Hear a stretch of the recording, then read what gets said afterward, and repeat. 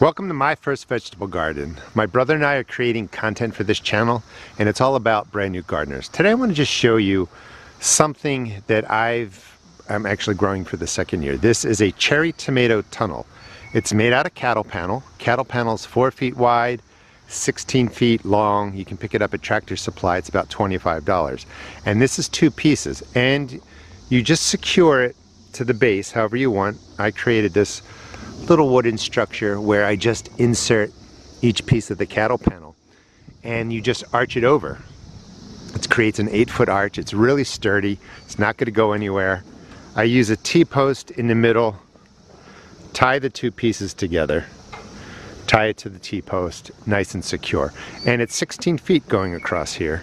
And what I'm doing is growing four different cherry tomatoes on each side, different shapes, different colors, and four over here.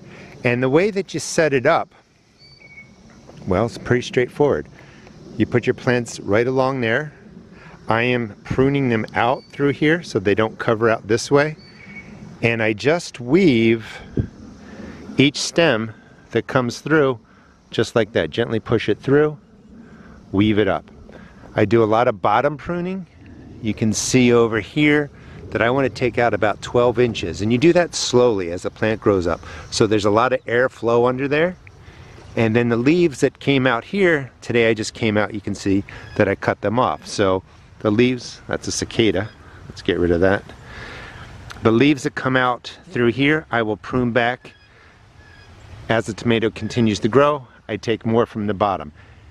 Airflow helps keep the leaves dry, helps you manage, manage pests, pests and disease. It's June 20th.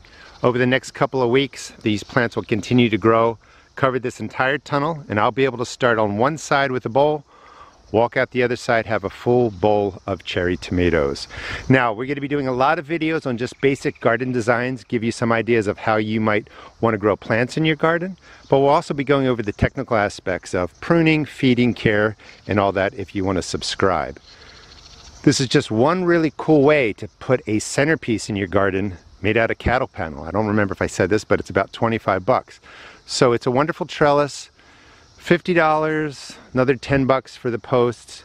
You can have this really cool centerpiece in your garden. And just imagine when it is completely covered with tomatoes, hanging with different colors and shapes right there. And that probably will happen in the next three or four weeks. So please subscribe. I'll show you the growth of this tunnel and we'll be really showing you how to grow your first vegetable garden. Thanks for watching and please check, our, check out our seed shop at therustedgarden.com.